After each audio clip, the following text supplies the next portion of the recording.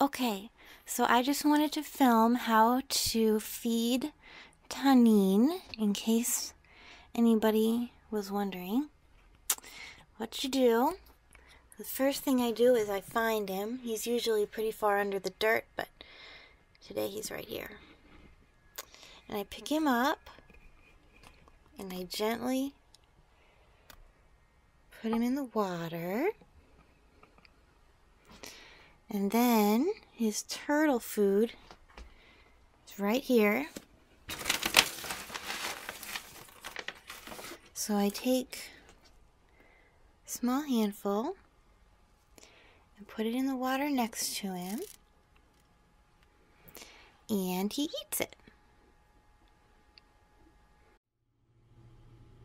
Okay, step two, you come back a little while later and the way you know that he is done eating is that he has climbed out of the water and has gone back to bed.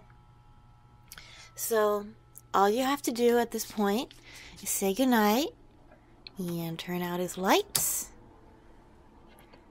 And he should sleep well.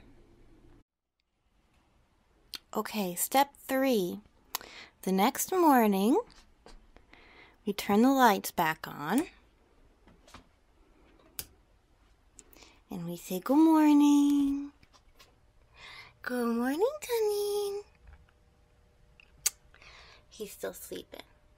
So, you'll notice all the food and everything is still in the water. So we come over here and we take this bucket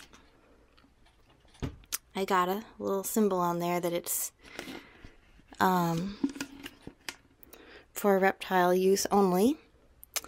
So you put it right there, and then you empty the water from this into there.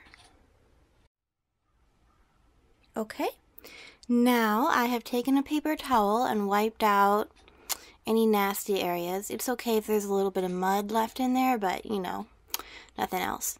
Um, and so I took the water and I dumped out the dirty water into the toilet and um, I refilled this bucket with nice clean water. So then we just pour the water in here.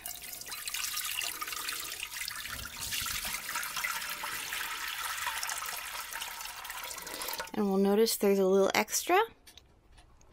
So we take the extra and we pour it in the mud.